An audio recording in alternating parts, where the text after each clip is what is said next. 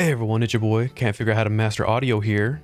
And we're going to take a little look at Slasher's Keep. Probably one of the best indie games I've played in a while. And I'm going to give you some tips and tricks on your first run through. So let's jump right into it. Alright, let's randomize all this. I think I'm going to be a Sasquatch because I'm a complete ape. I'm not going to play on easy mode or permadeath. And I'm not going to make it too long or too short with the dungeon depth. But other than that, just random. It kind of affects your skills in-game, but it's not too big of a deal. I'm gonna jump right into it. If you want to pause and read the lore, go ahead. But Ape not here to read, Ape only here to make violence. Alrighty, they put Monkey Man in a cage. There's a turd in a box. We're a turd in a box we gotta break out. Run our face right into this door. Easy. Falls over. This chest will have beginner loot in it. Nice. Pick it up. Open up uh, inventory with tab. See Monkey Man is Monkey Nips. Cover that up.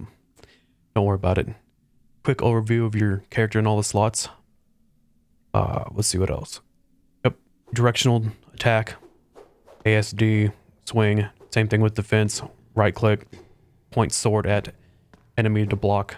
Pretty easy. So easy a monkey can do it. I'm a monkey. I'm doing it. Next thing, slash this web and we're out. But let's not forget the best attack in the game, the sack slap. So you're going to see a monkey man slapping people with his sack. So lucky you. All right, first room, First level of the dungeon. Tips and tricks.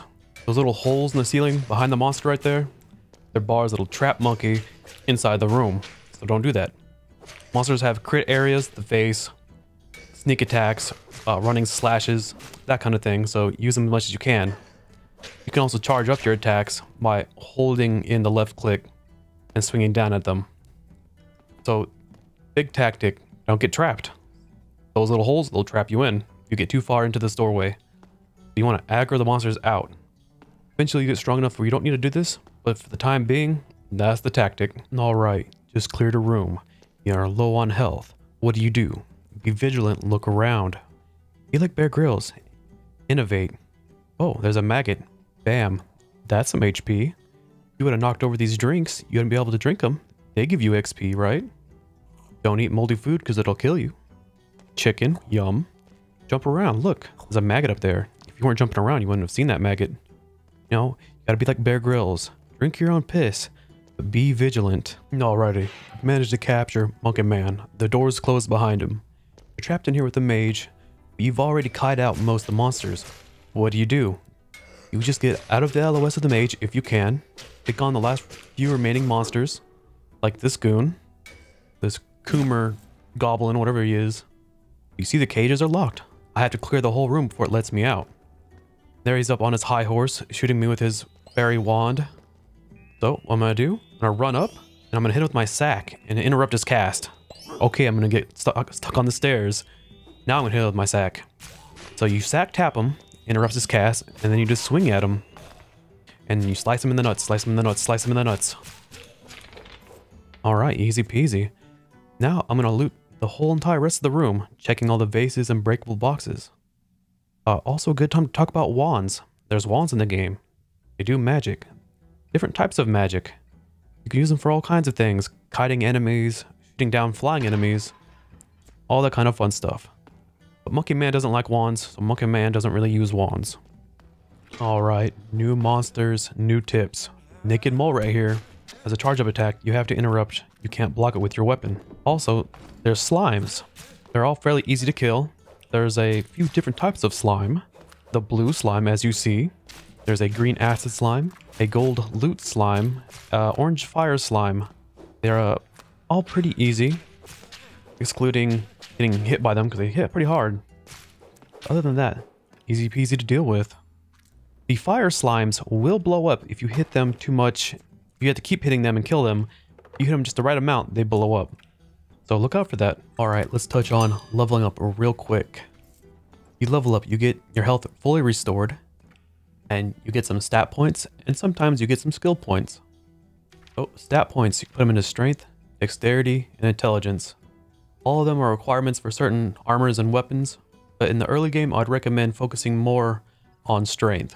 Make sure you level up the other ones, but always put your extra point into strength. You'll see, because more HP, more damage, Early game, it's big. Let's talk about environmental kills and traps. They're a big part of the game, and it'll turn this rather bad looking situation, I'm outnumbered, into a fairly good situation. What can I do? Can't fight all three of them. They're just gonna keep whacking me. Taking away my health. I could come over here and uh, use this spike trap. Maybe. Kind of ineffective. There's three of them. It'll take time. I'm gonna whack this barrel and uh, monkey use tool. Monkey go boom. Ape man is again victorious. Alright, you've been crawling around the dungeon. You hear some crazy chanting. What's going on? You find this weird, crazy, plaque-looking guy. And he's to give you a quest. And uh, they're kind of hard sometimes, like that. Clear a room in under 30 seconds of entering. But if you get it done, you get some pretty sweet rewards. Usually stat points. So it's worth doing. Alright, so we have ran into a loot goblin. A goblin of loot. You kill him and you get fat loot from him. He doesn't take physical damage though, normally. So you can't whack him with your weapon. What you have to do is sack whack him into the wall of spikes. He will try to do the same to you. So you can uh, get in his face and time your whacks to his whacks and just interrupt him. Or you can do a little uh, loop, doop, and pull and uh, make him run next to the spikes like that. And then you get around him and bam. All the loot's yours. He also drops the silver key for level 1 the silver key is what you need to get to level 2. It'll open up the gate. So make sure you pick that up. And easy peasy. You just do a little loop-de-doop and swack. Alrighty, you pretty much cleared out level 1. And let's hit up to level 2. Level 2. What's new about level 2? Mobs are stronger. There might be a few new traps, but I'm not going to ruin that for you guys. There is a few new things, and I'll find them and give them a brief look over on level 2. But other than that, it is pretty similar to level 1. Alrighty. So, we've made it to our first shop. You'll see the little sign, a little blue light, and bam, there's a naked mole rat gentleman. Quite fine, quite dapper, yes, but we have no money, and all of our stuff is junk because we're level like 2 or something. But sell what you don't need. I usually keep my wands just in case. And uh, we don't have anything now, we don't have any money now, but soon, you know. We'll have enough shekels to come back and get us some decent gear. If we don't find something better along the way. Alrighty, here's another fun little oddity of the, the higher levels. I wouldn't say. But here's a fun little oddity. It is the drop chest. Drop chute? Whatever. You drop items in this and you'll get them in that little chest in that first room in the very first level. So if you die, you don't completely start fresh. Like you can put some armor and weapons that you don't need into the chute and have them for your next life if you die. But you see, Ape Man did not know about the drop chute because Ape Man does not use the drop chute because Ape Man never dies. Ape Man is also super humble, never brags, one of my best qualities. But that is the last oddity of level 2.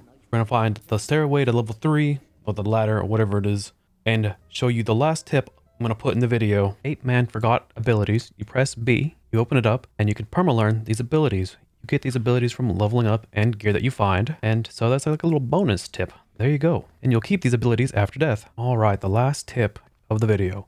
The Forge. Usually find them on level 3. There's always a box with free stuff in it.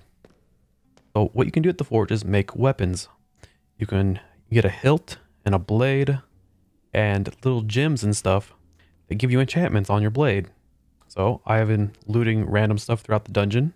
I don't have any gems, but Here's my blade. All right, it's kind of banged up because we're like, we're like, what, level four or something? And a hilt, that has enchantments on it. If we had some uh, gems, we'd have like lightning and fire and all the other kind of stuff. But the fun part about it is you can make it look how you want. You can put random stuff all over it. And so these are just decorations. I could put them anywhere on the blade I want. I'm just going to be boring and uh, make a normal looking sword, right? because I don't have anything cool to do with it. But yeah, that is the last tip of the video. Easy to find, usually on level 3. You collect resources for it throughout the levels. Yeah, you get to name it. Have fun. What should I name it though? I do not know. Hmm, it's really ugly. Like butt ugly. Oh wait, no. Hmm, yes. Ah, that is a perfect name. Ah, yes, you should do what it says. Obey the name of the sword. But yeah, we made it It has better stats stats than the sword that we've picked up.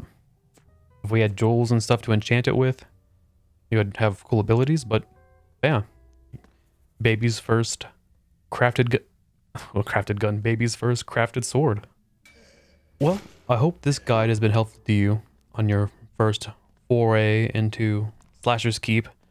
I love the art style. The gameplay is fun. I I already beat it. I quit playing the other games and making videos on them just because I wanted to keep playing this. It ate up all the time. It's real fun. It's real unique. I love the first person aspect. It's a great time. So it's like 10 bucks. Go pick it up. Have a good time. There's definitely more than $10 worth of content in it. And uh, if you enjoyed this video, leave a like, sub, comment, all the other stuff that helps the channel grow. If you want to see a video on how to fight the boss that comes up after the first couple of levels, uh, ask me and I will. I can show you how to do it with just the sword. But uh, yeah, other than that, this has been Glide. Out.